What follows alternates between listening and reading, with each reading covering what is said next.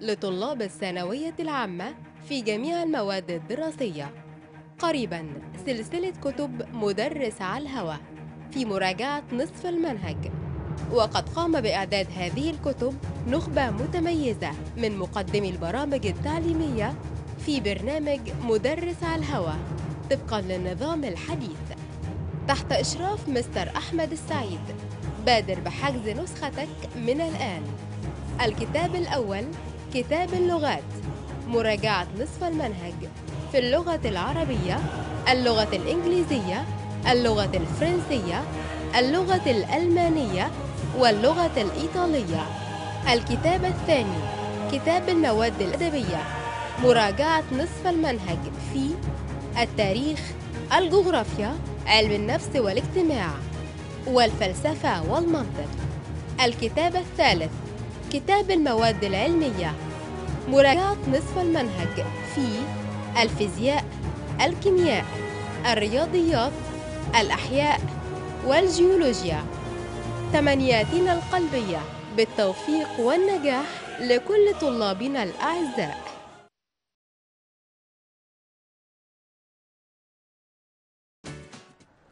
أعزائي طلبة الدراسة الثانوية العامة أهلا بكم بحلقة جديدة من حلقات برنامج مدرس على الهواء. الحلقة رقم 47 صباح الخير على كل طلابنا الأعزاء. صباح الخير على كل مدرسي اللغة العربية على مستوى الجمهورية اللي يتابعونا واللي إحنا كالعادة مستنيين كل ملاحظاتهم حتى نرتقي ببرنامج وندنه من الكمال. هيكون معنا النهارده وفي ضيافتنا مستر سيد عبد العاطي للحلقة الثانية أستاذ اللغة العربية بمدرسة عائشة أم المؤمنين. الثانوية للبنات. صباح الخير يا مستر. صباح النور يا أستاذنا. عامل إيه؟ الحمد لله رب العالمين. سعيد إن أنا معاك للمرة الثانية ومع طلابي للمرة الثانية على التوالي وأدعو الله اللي هو يفتح بيني وبينهم بالحق وهو خير الفاتحين. ربنا يخليك آه إن شاء الله طبعا آه النهارده هيكون عندنا فرع غير الفرع اللي أنا شرحته أنا شرحت المشتقات تمام. الوحدة الثانية النهارده إن شاء الله هنشرح المدرسة الثانية في الادب حلقة موفقة إن شاء الله يا مستر. بإذن الله. اتفضل يا حبيبي، اتفضل. بعد إذن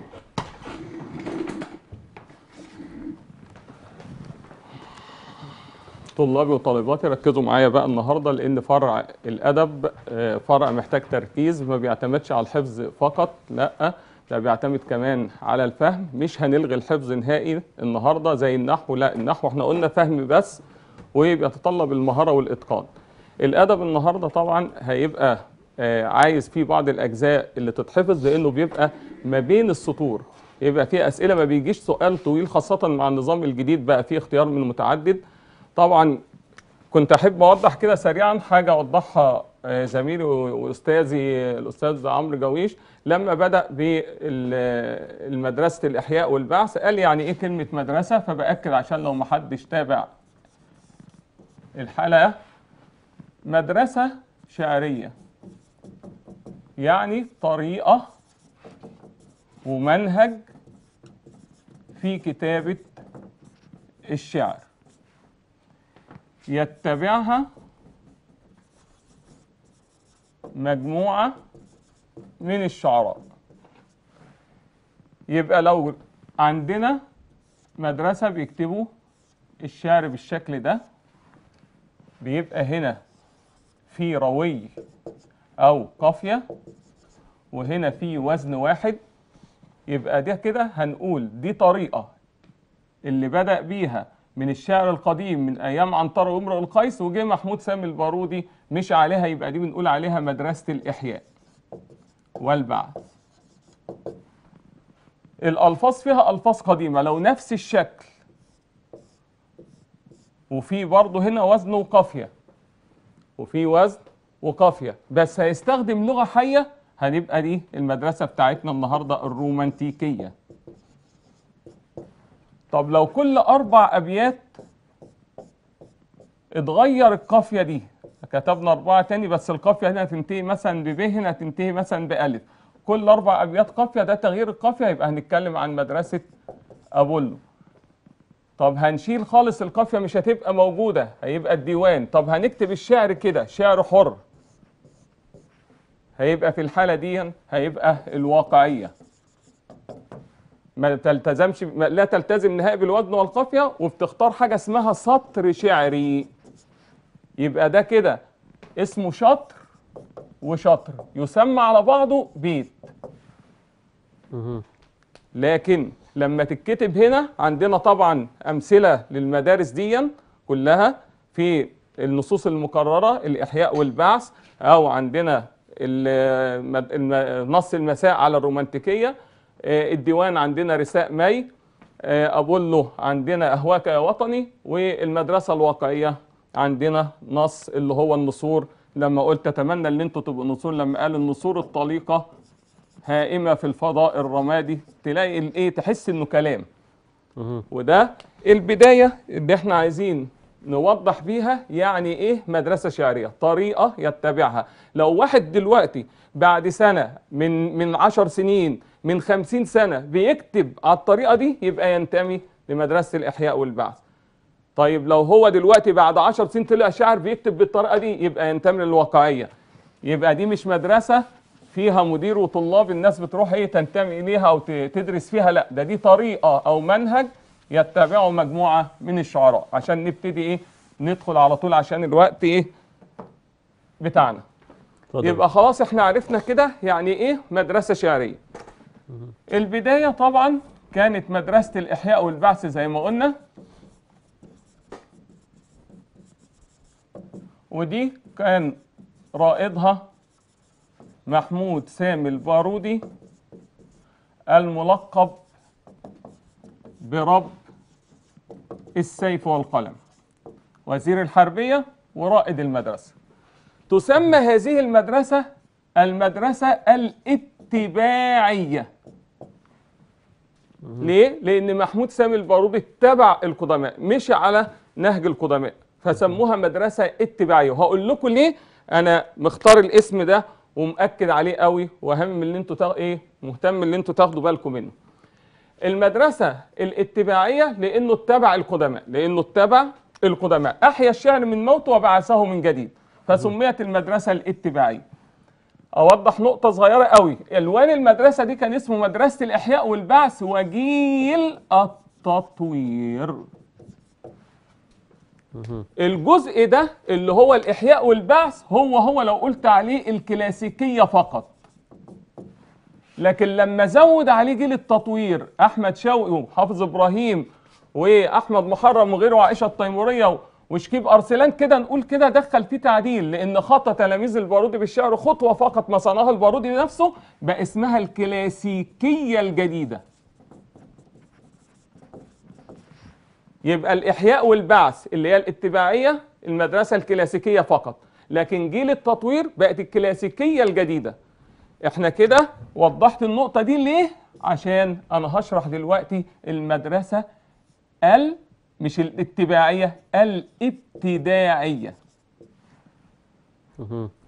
أو الإبداعية تمام اللي هي بقى المذهب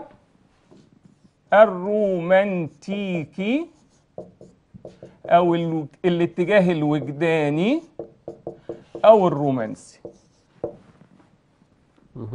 يبقى لما أجي أسأل المدرسة الاتباعية وأحط أسئلة أحط اختيارات. أقول مثلا الإحياء والبعث ولا الكلاسيكية الجديدة ولا الرومانتيكية ولا الواقعية. هنختار كلمة الرومانتيكية الرومانتيكية لأن هي اللي ابتدعوا اللي أبدعوا فيها غير اللي كانوا بيتبعوا النظام ال- القديم في الايه في القصيدة العربية.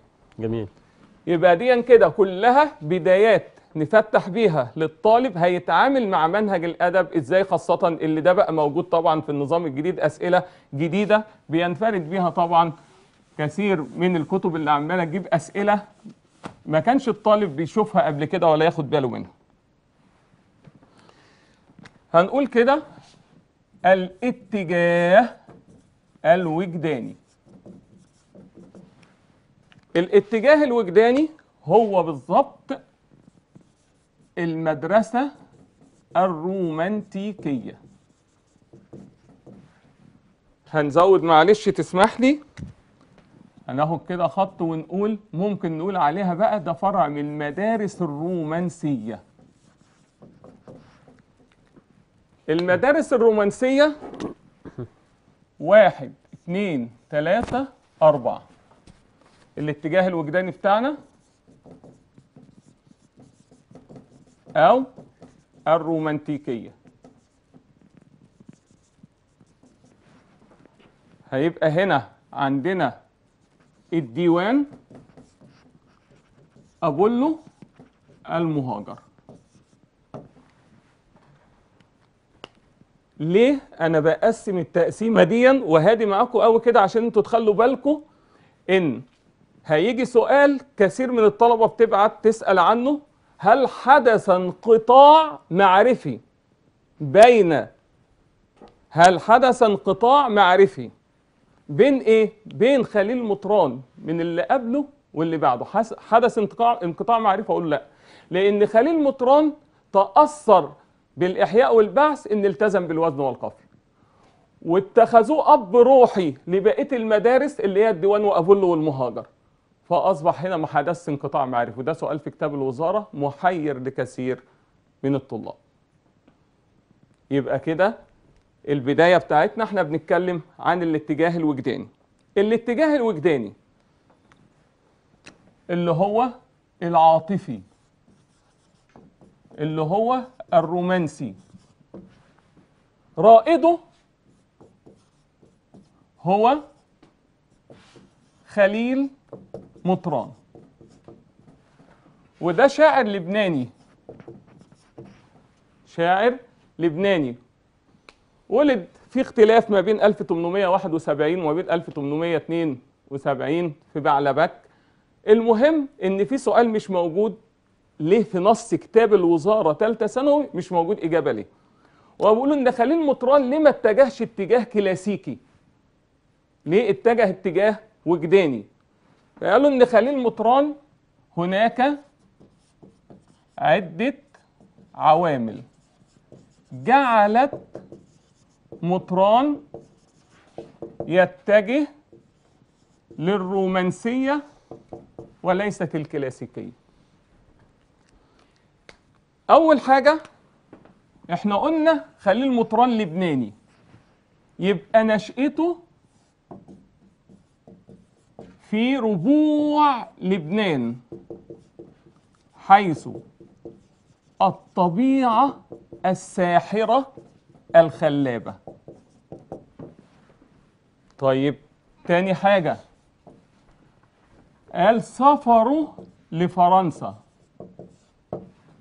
وخليل مطران سافر لفرنسا لأن كان حصل اضطهاد من الأتراك للمسيحيين في لبنان فهرب هو وأسرته لفرنسا فلما راح فرنسا إيه اللي حصل؟ سافروا لفرنسا وتأثروا بالرومانتيكية الغربية أو على وجه التحديد الفرنسية. طلابي وطالباتي خلي بالكم إن خليل مطران راح فرنسا.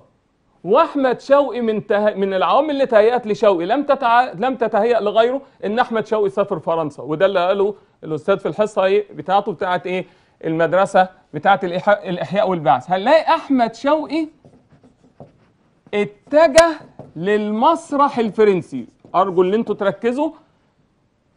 أحمد شوقي اتجه للمسرح الفرنسي الذي كان يقدم التاريخ اليوناني. وده إجابة لسؤال بيقول أحمد شوقي ليه عدل من المديح للتاريخ. ده في فرنسا وده في فرنسا بس ده اتجه للرومانتيكية وده اتجه للكلاسيكية المسرح الفرنسي الذي كان يقدم التاريخ اليوناني. يبقى لما يجي لكم سؤال في مدرسة الإحياء والبعث يقول خلي بالكم في ربط بين المدارس.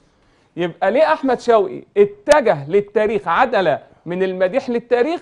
قال هنا عشان تأثر بالمسرح الفرنسي الذي كان يقدم التاريخ اليوناني وإيه كمان؟ وينصف من ظلمهم التاريخ أمثال كليوباترا. يبقى ده من عوامل اتجاهه للرومانسية ذهب- ذهبوا ذهابه لفرنسا وده من عوامل اتجاهه للتاريخ ذهبوا إيه؟ ذهابه لفرنسا الاثنين لفرنسا لكن كل واحد اتجه اتجاه مختلف. يبقى من عوامل اللي خلت مطران يتجه إلى الرومانسية هو سفره لفرنسا وتأثره بالرومانتيكية الغربية اللي هي الفرنسية. طب ثالث حاجة العاطفة الجياشة وحس المرهف. عاطفته الجياشة وحسه المرهف. يبقى العاطفة الجياشة يا أستاذنا يعني المتدفقة. عاطفة جياشة عاطفة متدفقة. حس مرهف إنسان ذو عاطفة عالية بتتأثر بكل حاجة. واللي بيتعرض لاضطهاد ويسيب وطنه وينتقل من فرنسا عشان تبعته المؤامرات وي- ويروح على مصر فده طبعا خلى خليل مطران يتجه رومانسية ده مش موجود في كتاب الوزارة ثالثة ثانوي وعليه أسئلة في الكتب بتيجي اختيارات يقول لنا من عمل اتجاه مطران للرومانسية إن سفروا مثلا لإيطاليا ولا سفروا لفرنسا ولا سفروا لألمانيا فبختار سفروا لفرنسا. معايا يقول عاطفة الجياشة فقط ولا سفر لفرنسا فقط ولا نشأته في الربع لبنان ولا كل ما سبق. نقول كل ما سبق. ده نظام الايه الأسئلة. طبعا أنا بقول الأسئلة معايا وأنا شغال وعليكم اللي أنتوا تركزوا فيها.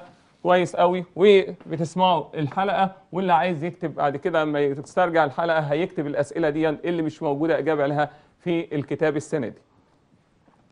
خليل مطران اتجه للرومانسية. خلاص يبقى كده بداية الاتجاه ال- ال- الوجداني مع خليل مطران وهو رائد إيه؟ المدرسة. طيب بيقول لي هنا السؤال الأول بعد ما عرفنا رائد المدرسة وبندخل في النظام بتاع كتاب الوزارة أول جملة موجودة عندنا بيقول كده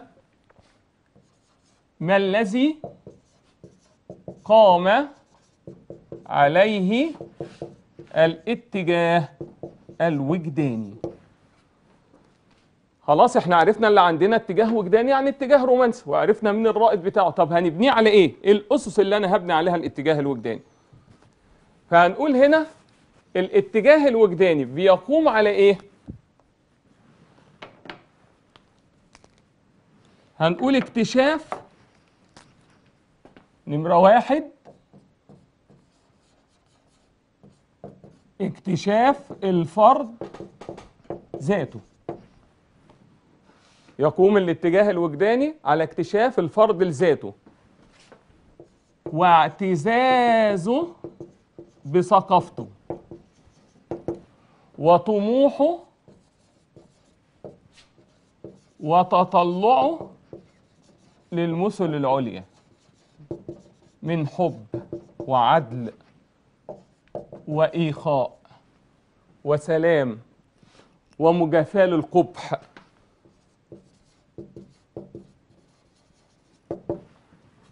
يبقى دلوقتي بنقول على ما الذي قام عليه الاتجاه الوجداني اكتشاف الفرد لذاته اعتزازه بثقافته طموحه وتطلعه للمثل العليا. يبقى ده كده إيه المثل العليا؟ يقول لي إيه إيه المثل اللي- يطمح إليها ويحط اختيارات؟ يبقى أنا عندي الحب عدل ايخاء مساواة مجافاه للقبح يبقى ده كده يقوم. طب أنا ليه بكتب السؤال ده قدامكم؟ عشان لو أنا غيرت السؤال وخليته هنا بدل ما الذي يقوم خليت دي ما الذي حرسه اتغير السؤال نهائي. وده اللي أنا بقول تركيز الطالب في الأدب مش مجرد إن هيفهم بس ومش هيحفظ بس. لازما الاتنين مع بعض. يبقى ما الذي قام عليه بيقوم على إيه؟ بيتبني على إيه؟ على اكتشاف الفرد لذاته. لأن هنا الاتجاه الوجداني اتجاه عاطفي. اللي خلى خليل مطران مش عاجبه الاتجاه الكلاسيكي إن كان فيه انصراف عن النفس الإنسانية والشعر وسيلة للتعبير عن النفس الإنسانية. وبالتالي يبقى يقوم الاتجاه الوجداني على اكتشاف الفرد ذاته اعتزازه بثقافته طموحه وتطلعه للمثل العليا من حب وعدل واخاء ومساواة ومجافاه للقبح وحب للطبيعة. طب خلاص إحنا عرفنا قام الاتجاه الوجداني على إيه؟ طب هو نشأ مع مين؟ نشأ مع مين؟ فهنقول هنا السؤال الثاني متى نشأ الاتجاه الوجداني؟ وماذا يحاكي؟ نشأ الاتجاه الوجداني أعتقد اللي أنتوا طبعا ممكن تتوقعوا كلكم طلاب وطالبات اللي نشأ على يد خليل مطران على أساس هو رائد المدرسة. ودي اللي هتبقى مفاجأة للطلاب. هو نشأ مع حركة الإحياء والبعث. نشأ يبقى هنا كده متى نشأ الاتجاه الوجداني؟ وعلى يد من نما وعلى يد من ازدهر ومتى تراجع. إحنا كده خدتها عشان ما يبقاش كتير كده على الطالب والطالبة. جزء جزء. يبقى متى نشأ الاتجاه الوجداني؟ هنقول نشأ مع حركة الإحياء والبعث التي أعادت للشعر العربي ما فقده من لمسات وجدانية ذاتية. الحتة اللي هكتبها باللون ده كده. حتة مهمة. محاكيا للرومانتيكية الغربية. الموضوع محتاج صبر وهدوء محتاج تأني مش كلام بسرعة. أنتوا عشان تطلعوا التفاصيل دي من وسط سطور كتيرة في الكتاب بتحتاج مجهود منكم هتخلي بالكم واحدة واحدة معايا. يبقى نشأ الاتجاه الوجداني مع حركة الإحياء والبعث التي أعادت للشعر العربي ما فقده من لمسات وجدانية ذاتية محاكية الرومانتيكية الغربية. يبقى إحنا هنقول هنا نشأ الاتجاه الوجداني مع وهنقول هنا الكلاسيكية ولا الرومانسية ولا الواقعية الكل هيختار دي ودي غلط. هو نشأ الاتجاه الوجداني مع حركة الإحياء والبعث. قلت لكم الإحياء والبعث كنت كاتبها لكم اللي هي الكلاسيكية. يبقى الأمر مفيش فيه سرعة. الأدب فرع ست درجات كانوا تضمنهم. لو أنت بتركز مش هتذاكر كتير. الطالب مش هيذاكر كتير بس مشكلة الأدب إن يا إما الطالب يعتمد على مذكرة فيها أسئلة سؤال وإجابة بس وهو مش فاهم الأدب ده نبض الأمة. نبض الحياة الأديب ده اللي بيعبر عن مشاكل الأمة روح الأمة اقتصاديا سياسيا فكريا عسكريا. الأفلام اللي كانت موجودة في الستينات والمراحل ال- ال- السابقة وأيام الحروب وأيام التتار كل ده إحنا عرفناه عن طريق الأدب. بنشوف ال- الموديلات في العربيات والشقق وكل حاجة عن طريق الأدب. الأديب بيعرض لنا الحياة. أنت ممكن تلاقي في الشعر والنثر كل حاجة عن العصر الجاهلي عرفناها من الشعر والنثر. فالأدب مش فرع كده إيه يستهان بيه. ده فرع اللي بيذاكره ويحبه بيشعر كده بقيمة هذا الفرع في اللغة العربية. وبالتالي إحنا بنعرف من خلاله بنعرف معلومات كثيرة بتفيدنا أنا شخصيا كإنسان بينتمي لهذا لهذه البلد وهذه اللغة. يبقى عرفنا كده الاتجاه الوجداني نشأ مع حركة الإحياء والبعث التي أعادت للشعر العربي. ما فقده من لمسات وجدانية ذاتية محاكيا يا ترى الرومانتيكية الغربية ولا الرومانتيكية الأجنبية ولا الرومانتيكية الفرنسية هو الاختيار اللي في الكتاب الوزارة اللي أنا هختاره. هو كاتب محاكيا الرومانتيكية الغربية. ما حددليش إنجليزية ولا فرنسية ولا إيطالية. يبقى بختار محاكية الرومانتيكية إيه؟ الغربية. تمام؟ يبقى كده أولاد يا بنات ركزوا في التفاصيل اللي أنا بقولها. طب عندنا كده بقية السؤال ده. إحنا عرفنا متى نشأ. قول على يد من نما. الاتجاه الوجداني ومتى ازدهر ومتى تراجع. يبقى بنقول على يد من نما. إحنا قلنا يا أستاذ أحمد كنا قلنا هو نشأ مع خليل مطران ولا مع حركة الإحياء والبعث؟ الإحياء والبعث. الله ينور عليك. نتمنى كل الطلاب والطالبات يبقوا مركزين قوي كده مع حركة الإحياء والبعث. لكن نما نما اللي جاية بتقول هو نما على يد خليل مطران. والكلام ده كان في الجزء الأول أو مقدمة الجزء الأول من ديوانه سنة 1908 أنا بقول الأسئلة وأنا شغال. هيجي يسألني ويقول نما الاتجاه الوجداني على يد جبران خليل جبران وده اسمه خليل مطران. فده في مدرسة إيه؟ المهاجر. رائد مدرسة المهاجر الرابطة القلمية. وده مطران والتاني جبران. يبقى أنا خلي بالي التفاصيل اللعب كله على عشان كده بقول الأدب بيحتاج حفظ وبيحتاج فهم. فأنت عرفت إنه مطران. طب طلعت من دي تقع في دي يقول لي هو السنوات مطلوبة؟ آه السنوات مطلوبة. يبقى 1907 ولا 1908 ولا 1909 طب كان في الجزء الأول مقدمة الجزء الأول من ديوان ولا الجزء الثاني ادي يا جماعة الأسئلة عشان إيه؟ مش هقعد مفيش وقت اللي أنا أقعد أعرض الأسئلة دي في آخر إيه؟ الحلقة. الوقت سريع فأنا بحط الأسئلة دلوقتي وأنتوا تسمعوها وتركزوا فيها. يبقى عرفنا إن نام على يد خليل مطران في مقدمة الجزء الأول من ديوانه 1908 وازدهر وازدهر على يد شعراء مدرسة الديوان. طبعا إحنا هناخد مدرسة الديوان هيبقى فيها طبعا العقاد والمزني وشكري وده اللي خلاني بقول لم يحدث انقطاع معرفي. بركز على السؤال اللي قلته في أول الحلقة. لم يحدث انقطاع معرفي لأن شعراء الديوان اتخذوا خليل مطران أب روحي فبالتالي يبقى مستمر مفيش انقطاع. وهو استفاد من الكلاسيكية. مفيش انقطاع. يبقى وازدهر على يد شعراء مدرسة الديوان. نشوف بقى آخر جزئية. خلاص كده هنقول إيه؟ والازدهار لسه زي ما هو. وأبولو ده في العقد الثالث من القرن اللي هو من 1930 كده لحد 1940 شو إيه؟ ونقول بقى وتراجع.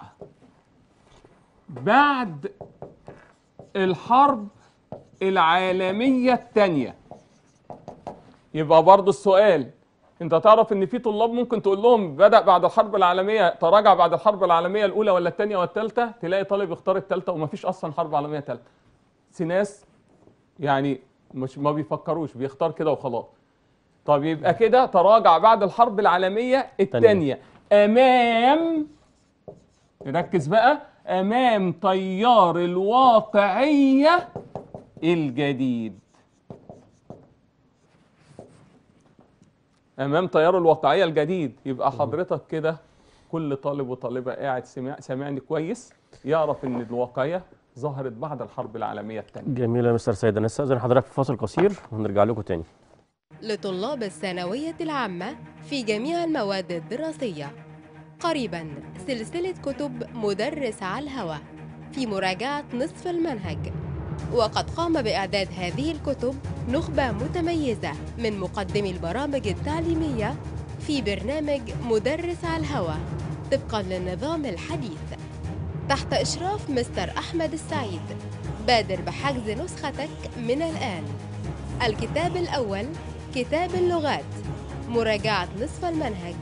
في اللغة العربية اللغة الإنجليزية اللغة الفرنسية اللغة الألمانية واللغة الإيطالية. الكتاب الثاني كتاب المواد الأدبية مراجعة نصف المنهج في التاريخ الجغرافيا علم النفس والاجتماع والفلسفة والمنطق. الكتاب الثالث كتاب المواد العلمية مراجعة نصف المنهج في الفيزياء الكيمياء الرياضيات الأحياء والجيولوجيا. تمنياتنا القلبية بالتوفيق والنجاح لكل طلابنا الأعزاء.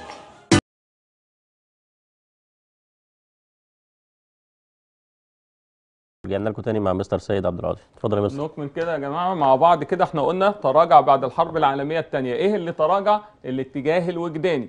تراجع بعد الحرب العالمية الثانية مش عارف كل الطلاب عارفين الحرب العالمية الثانية سنة كام؟ يعني ممكن يجي كده في دماغه اللي هي من 1939 حتى 1945 عشان لو لعب بالتاريخ ده ومش موجود طبعا السنة على أساس عارف إن كل الطلبة عارفة كده.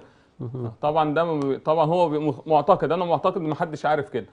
من 1939 ل 1945 ليه تراجع ليه تراجع بعد الحرب العالمية؟ بسبب ظهور تيار الواقعية الجديد.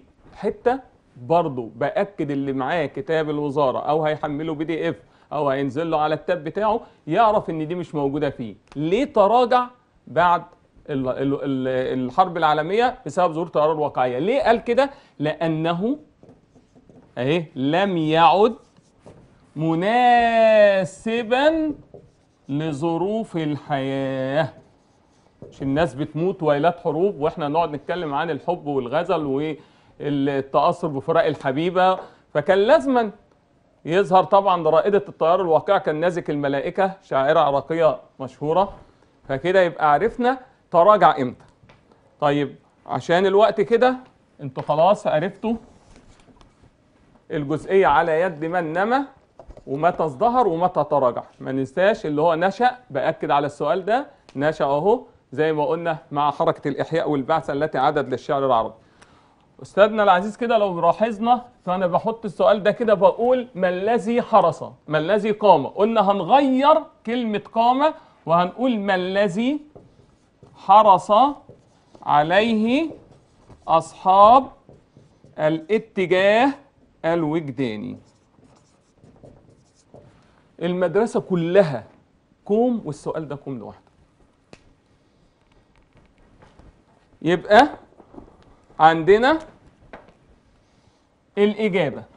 حرس قام هنقول هنا حرس أصحاب الاتجاه الوجداني على ناخدها كده من إيه؟ واحد الخروج من أسر الأنماط الشعرية المقررة على مر العصور. الله يكرمكم ركزوا. في فرق بين قامة وحرصة. قامة على اكتشاف الفرد لذاته حرص على الخروج على الخروج. احفظها كده. قامة يبقى اعتزاز خر- حرص يبقى خروج. الخروج من أسر الأنماط الشعرية المقررة على مر العصور. تاني حاجة دي واحد. تاني حاجة ابتكار صيغة شعرية حديثة. مالها بقى؟ ابتكار صيغة شعرية حديثة يمتزج فيها النقطة اللي هكتبها كده التراث بالعصرية. ابتكار صيغة شعرية حديثة يمتزج فيها التراث بالعصرية. دي هتتغير في الاختيارات. أنا أنا الوقت مخليني بقول الأسئلة وأنا شغال. ابتكار صيغة شعرية حديثة يمتزج فيها التراث بالعصرية. وتكتسب الألفاظ فيها دلالات حديثة وقدرة على الإيحاء.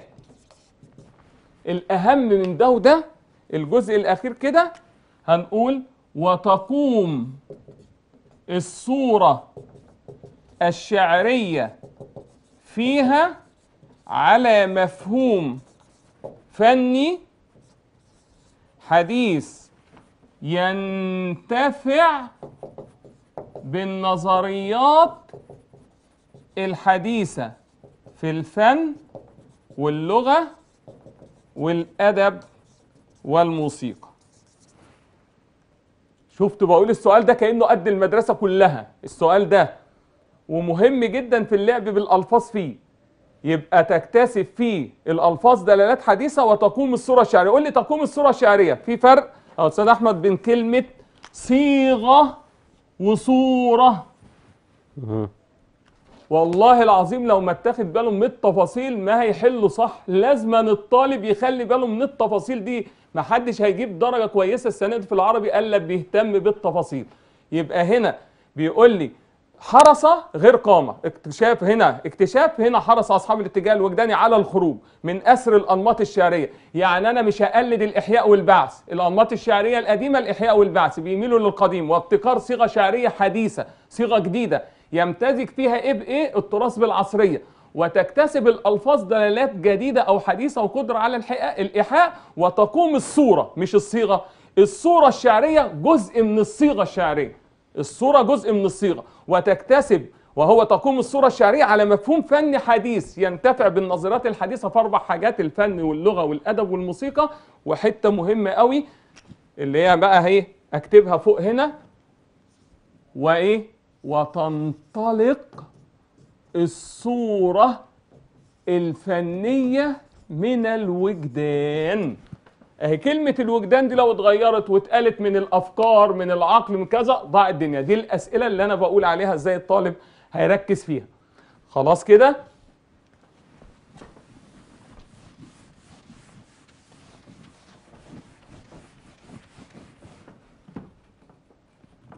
يبقى عرفنا ما الذي يقوم وما الذي حرس السؤال عندنا اللي هو بقى هيقول لي إيه هنا؟ ويقول لي ماذا قال مطران عن شعره في مقدمة الجزء الأول من ديوانه اللي هو 1908 دي كده حبايب قلبي هي خصائص وسمات المدرسة. ماذا قال مطران عن شعره؟ قال كده سريعا أنه شعر عصري وفخره أنه عصري. قال إن شعر عصري وفخره أنه عصري. ليس ناظمه بعبده هو مش عبد للقصيدة. لا تحمله ضرورات الوزن والقافية على غير قصده. يقال فيه المعنى الصحيح باللفظ. الكتاب القديم كان قايل الصحيح دلوقتي اسمه الفصيح. ننظر لجمال البيت ليس بمفرده ولكن مع قصيدته. في قلب القصيدة. وننظر وننظر لجمال القصيدة في جملتها لا في أبياتها منفردة اللي هو الوحدة الفنية. ننظر للقصيدة في جملتها لا في أبياتها منفردة. هي كده؟ طيب إيه كمان؟ وتناسقها وحسن تركيبها. يبقى كده الكلام ده هو سمات المدرسة بس ده الن- بالنص الكلام اللي قاله خليل مطران في مقدمة ديوانه سنة إيه؟ 1908 قال إن شعر عصري فخر أنه عصري ليس ناظمه بعبده لا تحمله ضرورات الودن والقافية على غير قصده. يقال فيه المعنى الصحيح باللفظ الفصيح ننظر لجمال البيت ليس في مفرده. ولكن في مع القصيدة وننظر لجمال القصيدة في جملتها لا في أبياتها منفردة وتناسقها وحسن إيه؟ وحسن تركيبها. يبقى كده الكلام ده بيدعو للوحدة إيه؟ للوحدة الفنية. يبقى ماذا فعل مطران بالشعر؟ هقول لكم حتة حلوة قوي أخرج الشعر من عباءته القديمة. هي هي الجملة دي بتشوفوها كده بت إيه؟ بتحتاروا. أخرج الشعر من عباءته القديمة. انتقل بالشعر من القديم جذبوا الايه؟ للحديث. ده ألفاظ تانية هتشوفوها في امتحانات في أسئلة. يبقى كده عندنا ماذا عاب مطران على الإحيائيين؟ نمرة واحد كثره شعر المناسبات. اتنين عدم الاهتمام بالنفس الإنسانية. اللي هو بيقولوا الانصراف عن النفس الإنسانية. هي هي. ثلاثة عدم وجود وحدة عضوية. دي كده الثلاث حاجات اللي لعبها مطران على الإحيائيين. طب هل أعلن ده مش موجود في كتاب الوزارة؟ هل أعلن مطران عن مذهبه صراحة؟ لا خوفا من بطش الإحيائيين. لأن كان الاتجاه الإحيائي في قمة وعظمة أوجه أو أو أشد انتشاره وهو ما قدرش يعلن عن ده صراحة ما قدرش يحاربهم ما قدرش يقف قصادهم غير الديوان الديوان هيتكلم وي- وي- ويقولوا إحنا بنعيب عليكم كذا. لكن خليل مطران ما قدرش يعلن عن مذهبه صراحة خوفا من بطش إيه؟ الإحيائيين ولكنه ما زال التزم بالوزن والقافية. وعشان الوقت هختم بالسؤال ده يقولوا كده إن خليل مطران مرحلة انتقالية. خليل مطران مرحلة انتقالية. يعني خليل مطران إيه؟ يعني مرحلة انتقالية. يعني لم يكن مجددا خالصا. خليل مطران لم يكن مجددا خالصا. بالرغم من أنه نادى بالتجديد إلا أنه ما زال ملتزم بالوزن والقافية. وده اللي هيخلي مدرسة الديوان تظهر ويبقى فيها عيوب فتظهر مدرسة أبو الله عشان تعالج النقص وهكذا.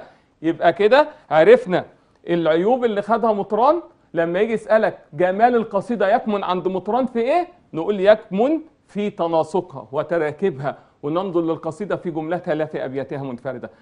يبقى كده يا جماعة اوعوا تنسوا السؤال اللي أنا قلته اللي هو لم يعلن مطران عن مذهبه صراحة خوفا من بطش الإحيائيين. ده سؤال. السؤال الثاني مش موجود السؤالين دول عندكم في الكتاب.